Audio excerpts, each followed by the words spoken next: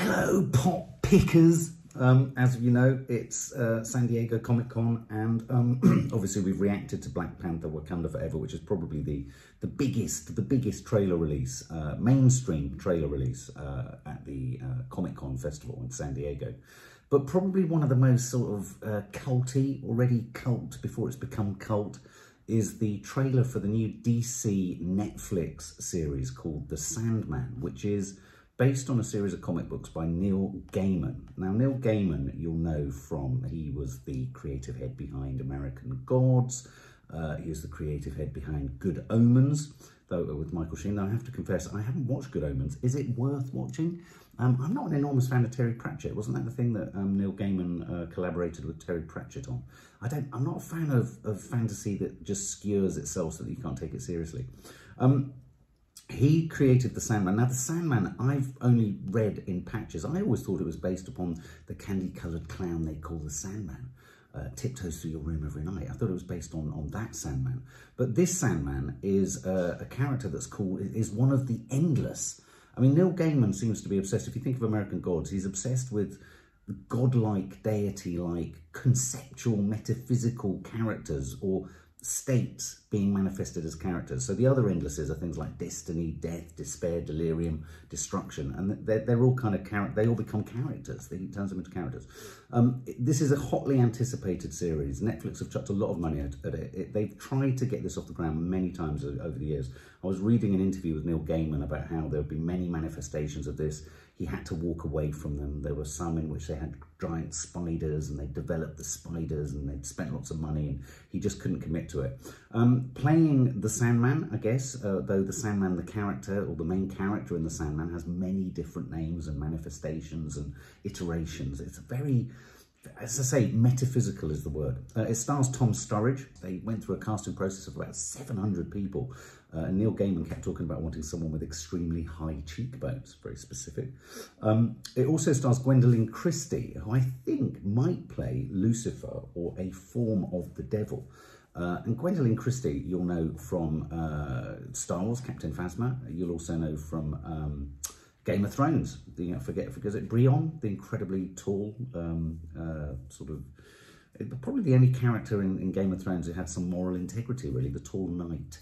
Um, and uh, Charles Dance is in there. Even Sanjeev Bhaskar is in there. So uh, there's a lot of British talent in this. It's going to be incredibly abstract. It's going to be incredibly inventive. American Gods, I liked and then me and Maddie were watching it and then we kind of got a bit tired and it was interesting that Neil Gaiman said he lost interest in his own series he, well, he didn't produce it but he wrote it obviously he kept saying that he'd get sent the scripts he'd put notes on the scripts and his notes on the scripts would get ignored and so he felt that American Gods departed from his original vision quite dramatically whereas on this Neil Gaiman is executive producer so uh, he's going to take full responsibility for the success or failure of this. So this is The Sandman. Uh, again, hotly anticipated, lots of excitement in comic land for this.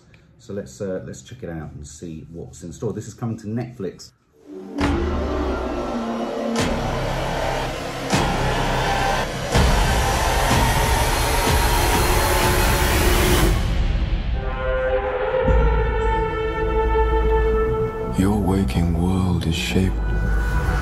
By dreams. Dreams and nightmares that I create and which I must control. He's out there looking for me, isn't he? Can you imagine the damage he could do? I need your help. If dreams disappear, then so will humanity. I could do without dreams for a while. I haven't had a decent night's sleep in ages. I'm not gonna stop until I've reshaped this world. Tell us what power of dreams can have. I thought about giving up, but I have a job to do and I do it. Things have changed. Your eyes will tell me everything. Every thought, every feeling. My My creations do not walk amongst the living, killing mortals for pleasure. Oh, you don't think dreams can die? Let's find out.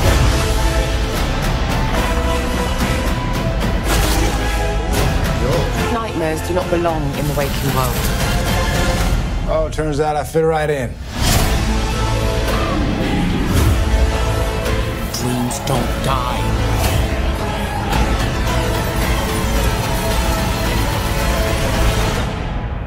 Mr. Sandman, bring me a dream.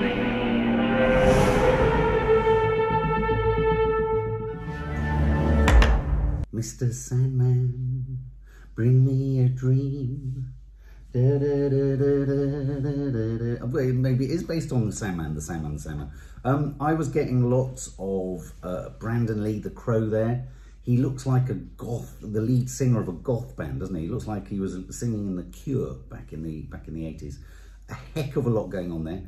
Firmly plonked in Fantasyland whose perspective, I'm guessing he's not an obvious hero. He looks so troubled. I mean, I've never seen someone look more troubled. I slightly get concerned that maybe Neil Gaiman's kind of casting direction of needing someone with high cheekbones means that he's never going to break a smile and we're only ever going to be reminded of his high cheekbones. Gwendoline, Gwendoline Christie, always great, always odd. She's just such an odd, striking presence, pro probably because she's so tall the camera struggled to know how to frame her. Um, sometimes I get that feeling. I was getting good omens moments. I get I have this terrible prejudice against anything that's fantasy driven that becomes a bit too British or becomes a bit of a sort of roll call of British talent. I know it sounds awful, it's kind of anti our own sort of talent, but as soon as you start to see lots of kind of familiar faces from lots of TV dramas, you start to think, don't just become another TV drama. Um, lots of great special effects in there.